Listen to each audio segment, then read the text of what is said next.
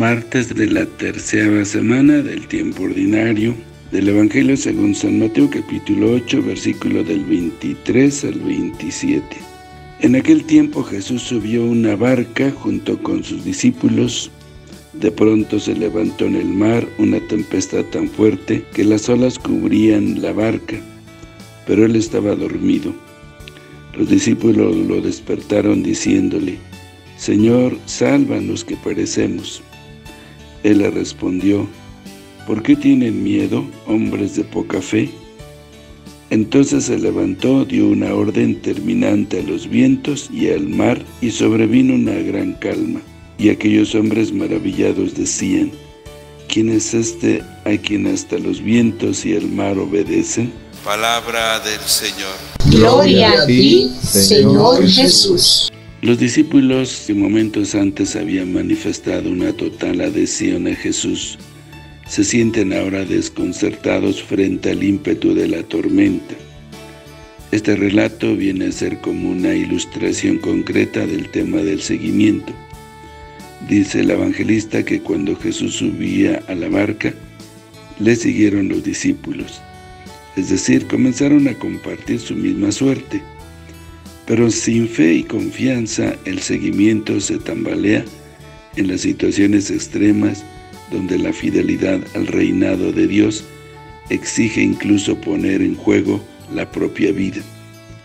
Jesús denuncia la falta de fe de sus discípulos en el momento mismo de la prueba, cuando las olas cubrían la embarcación, y no después de restablecida la calma. El que dormía en medio del vendaval se revela como Señor del mar.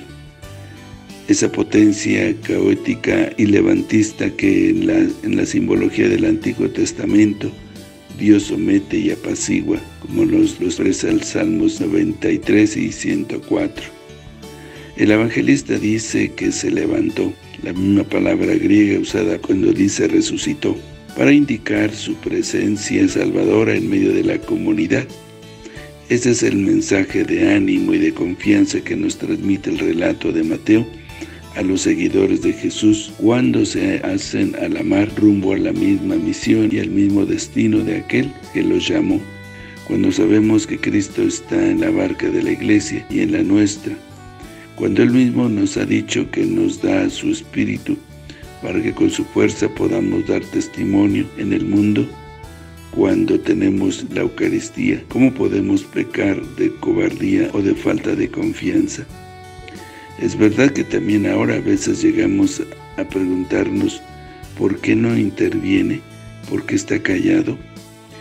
Digamos a lo más íntimo de nuestro ser, la oración de los discípulos sálvanos que nos hundimos. La oración nos debe reconducir a la confianza en Dios, que transformará definitivamente en la lucha contra el mal.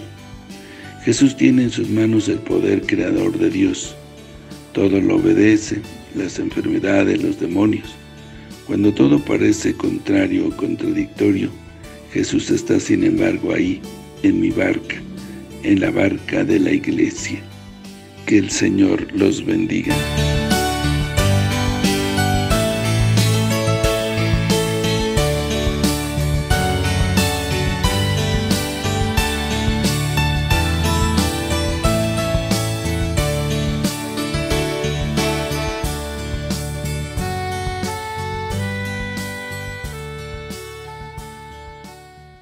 La bendición de Dios Todopoderoso, Padre, Hijo y Espíritu Santo, descienda sobre ustedes, que los acompañe siempre.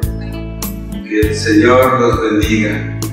Si te gustó este video y deseas seguir recibiendo el Evangelio, misa en vivo, oraciones y muchas reflexiones más, ayúdanos a seguir creciendo. Suscríbete a este canal de YouTube Activa la campana de notificaciones. Deja tu comentario. Dale me gusta. Y compártelo con todos tus seres queridos. Que el Señor te bendiga a ti y a toda tu familia. Bendiciones.